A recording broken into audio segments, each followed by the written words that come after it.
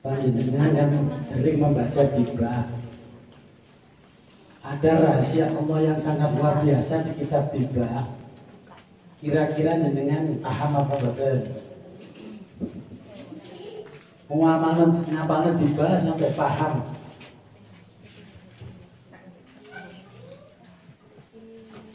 Dulu saya ketika kecil, abah saya ini ngotot, saya disuruh ngapalkan Bibah Terus saya pikir-pikir, oh hubungan di di sekolah gak nyambung. Di gak nyambung, tapi tetap suruh menghafalkan hibah. Ya hafal, tapi gak hafal mana. Kenapa? Jarang dibaca. Maka setelah saya banyak mengamalkan kotam khawajangan ini, akhirnya saya diberitahu tentang dua kenikmatan yang tidak pernah diingat oleh para manusia termasuk panjenengan yang membaca tiba setiap malam Jumat. Gitu. Ada rahasia terbesar. Pun dengan wajah di sini hadis al hadis sani an atau ibni yasar. Kau dalam tiga. Tidak jelas. Allahumma salli wa sallim wa barik alaihi. الحديث الثاني عن عطاء بن يسار أن كعب الأحباب قال علمني أبي التوراة إلا سفرا واحدا كان يخدمه ويدخل الصندوق. فلما مهداني فتحته فإذا به نبي يخرج آخر الزمان. مولده بمكة وهزلته بالمدينة وسلطانه بالشام يقص شعره ويتنزل على وسده يكون خير الأنبياء وأمته خير الأمم.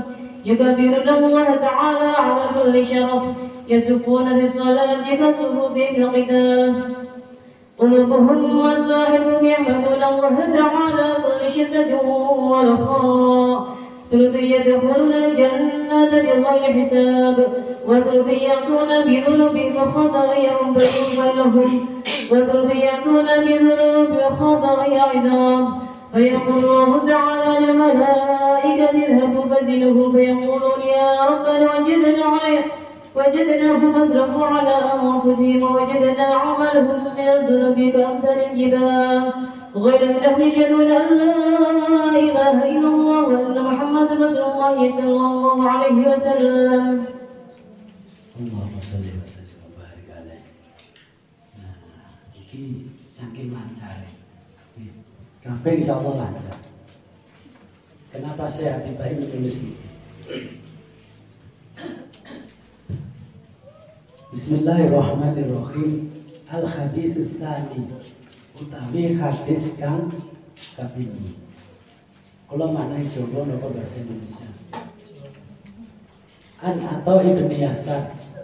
Hadis kacerita saking atau bin Yasar. An bil akhbar saking Ka'ab al-Akhbar. Kola Us ucap Tadawu sopo Ka'ab Al-Lamani Us ngulangi di ingsun Sopo Abi.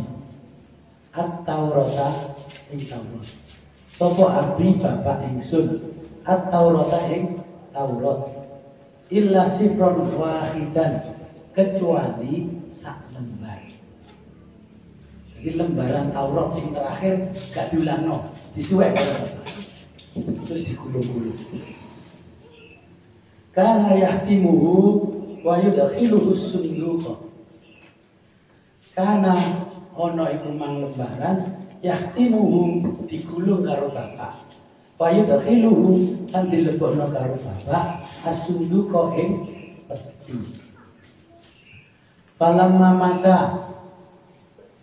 nalikane wafat sapa abi bapak ingsun fatah tuhu mongko buka sapa ingsun hu ing iku mangkota faidan fihi ternyata isine nang lembaran iku mang Nabi yang yakhruju akhir zaman.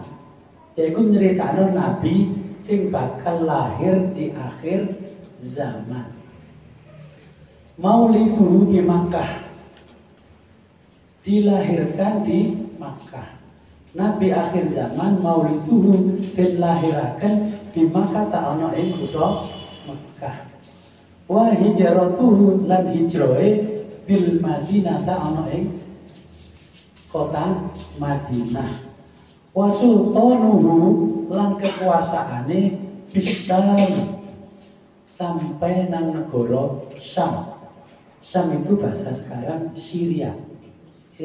Bahasa Arab zaman Nabi namanya Syam. Bahasa Arab sekarang namanya Syria. Yakusu sya'rohu.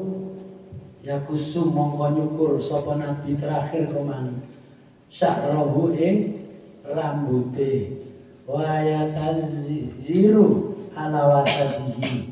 Lan gawe kelambi iku betul-betul ke marang pinggangi berarti gawe sa sarung tafsirane Waya kunulan ono iku mang nabi akhir zaman iku khairul anbiya'i ing bagus-baguse para nabi. Wa ummatuhu lan ummate nabi akhir zaman khairul umami yaitu bagus-baguse umat. Dan dengan apa? Bagus-baguse umat umaten. Oke. Enggak, kan umatnya kanjeng Nabi sing paling umat umaten. Dan ini dijelaskan ini ini hadis. Payuka biru lan moco takbir Allah ing Allah Ta'ala kali maulul Allah ala kulli syarafin ing ngatasi setiap kemuliaan Paya sufuna sholati lan baris ing dalam setiap sholat kasufuhum fil kitab. Kaya barisnya kang lagi perang salate jejer-jejer nggih. Barisane kaya wong perang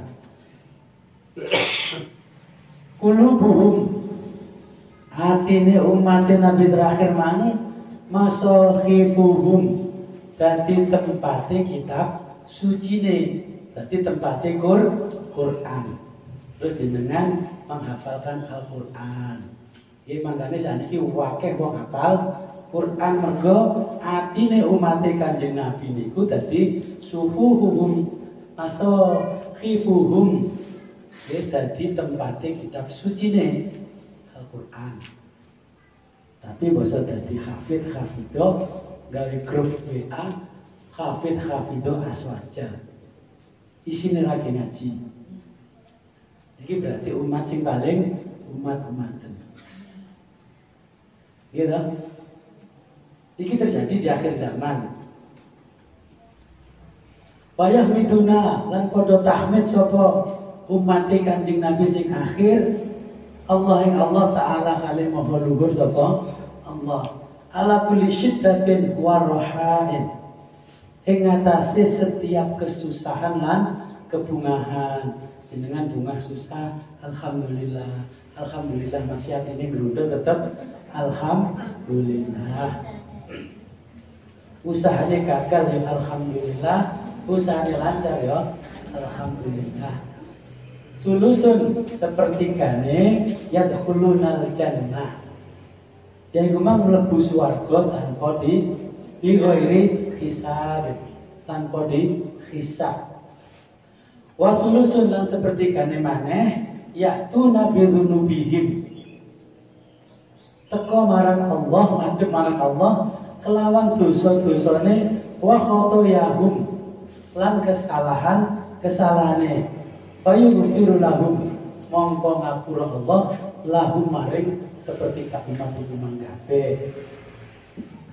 Wa sulusun lan seperti kene maneh yaitu nabi dunubi iku padha teko kelawan dosane wa khotoya lan kesalahan kesalahane idhomin kang banget agungi Fayaqulu monggo ngucap sapa Allah taala lil malaikati maring para malaikat idhabu wis dan berangkat sira kabeh fazinuhum monggo timbangan yaiku mang umat umate nabi akhir zaman fayaquluna monggo padha ngucap sapa malaikat ya robbana duh ngiran ingsun Wajadnahum asrofu al anfasin. Kula pun manggi umat-umat iku kabeh asrofu yaiku padha dolimi ngelek-ngeleki anfusihim ing awake dhewe. Wajadna lan nemuaken malih ing sepertigane hak malahum ing pirang-pirang amale minal dunubi saking pirang-pirang dosa kang sanil jibali kaya gedene gunung. Umat kanjeng Nabi Muhammad sepertiga niku kan dosa belas. Langsung mlebu swarga kali tanpa hisab. Sing sepertiga kedua nyambut gawe ini ngajine penuh do, dosa kaya gunung. Dosanya kaya gunung sing jejir Wa ghairu annahum lan sa'liyane kumang seperti kane malih yashhaduna tapi banget nyakseni Allah ilaha illallah. Yen to ora ana pangeran kejaba Allah fa anna Muhammad Rasulullah. Nyakseni ora ana pangeran kecuali Allah dan Muhammad utusane Allah sallallahu alaihi wasallam. Jadi dengan kira-kira seperti kabundi apa kene blas apa sing langsung mlebu mlebu neraka tanpa dihisab Nah, tenggene niki rahasia dari hadis ini tidak ditulis di dalam kitab ini oleh Sehat Tibai, tapi ditulis di kitab lain. Kaab, okay. namanya Kaab ini Kab al-Akbar niki putra rojo di zaman kitabnya Taurat. Nanti sih tulis Taurat. Eh. Nabi sinten? Mu Musa. Nah, rojo niki apal seluruh kitab Taurat dan anaknya yang laki-laki bernama Kakab disuruh mengambil kan kitab Taurat. Setelah hafal lembaran yang terakhir, pas lembaran terakhir yang hafalan disuwek karo bapak. Terus digulung, didek bumbung, dilebokno kotak. Mari itu dikunci, kunci ini dibuat nang laut. Ketika bapaknya mati, Kaab diangkat, diangkat menjadi raja. Setelah itu yang pertama dia lakukan adalah membuka kotak yang dikunci oleh bapaknya. Apa sih isinya ini penasaran? Ternyata isinya adalah lembaran terakhir dari kitab Taurat menjelaskan bahwa nanti akan ada nabi akhir zaman dilahirkan di kota Makkah, hijrahnya ke Madinah. Kekuasaannya meluas sampai negara Syam atau Syria. Langsung Kaab meninggalkan kekuasaannya berbaju putih seperti yang diceritakan di dalam peti tadi di dalam lembaran dan dalam peti. Bajunya persis yang diciptakan terus udung-udung putih dengan membawa tongkat tanpa membawa bekal apa pun. Dan perjalanannya dari tempatnya Kaab ke negeri Makkah pada waktu itu jauh sekali. Dan orang belum mengenal yang namanya Makkah dalam perjalanan sangat jauh, tiba-tiba di tengah jalan, Kaab ini ditemui oleh seseorang. Wahai Kaab al-Akhbar, inilah aku yang namanya Muhammad. Rasulullah SAW yang diceritakan di lembaran terakhir di kitab suci Taurat. Kaab ini kaget. Ya Rasulullah, saya sangat bahagia berjumpa denganmu. Wahai Kaab, ketahuilah bahwa aku adalah nabi yang akan diutus oleh Allah di akhir zaman. Tetapi ketahuilah wahai Kaab, aku akan dilahirkan masih 500 tahun kemudian. Nabi sebelum dilahirkan, 500 tahun sebelum dilahirkan, sudah bisa menemui Ka'ab al-Akbar. Ka'ab heran. Kok bisa ya gurung lahir, wis nemoni. Terus Ka'ab bertanya, Ya Rasulullah, Kalau begitu, jadikanlah saya menjadi umatmu yang pertama. Dan jadikanlah saya orang yang pertama masuk surga bersamamu. Jadi Kaab meminta kepada Nabi, Wahai Kaab, engkau akan menjadi umatku yang pertama. Karena bukti kecintaanmu dan kasih sayangmu yang sangat kuat kepadaku. Maka Allah mengutus aku untuk menemuimu.